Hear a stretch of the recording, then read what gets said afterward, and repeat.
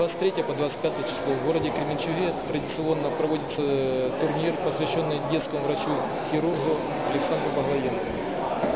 Э, На нашем турнире участвуют более 70 боксеров из разных городов Украины, включая Донецк, Александрию, Светловодск, Глобино. Турнир проходит седьмой раз, традиционно в дни. Какое количество общее участников? Просто более 70 участников. Это. Э, Какие шансы у наших спортсменов, у кременчужан? Кто может стать победителем турнира? Ну, Традиционно э, первое место выигрывают кременчужане. Мы это- к этому турниру готовимся. Он внесен в календарь наших соревнований, поэтому традиционно наши боксеры, А кто готовит наших боксеров э, к этому турниру? Готовил? Как бы наш э, штат тренеров с Дюшор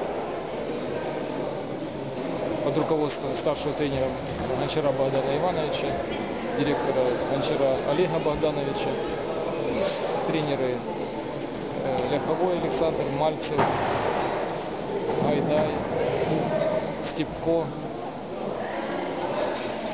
Бражник, Гринченко. Такой список.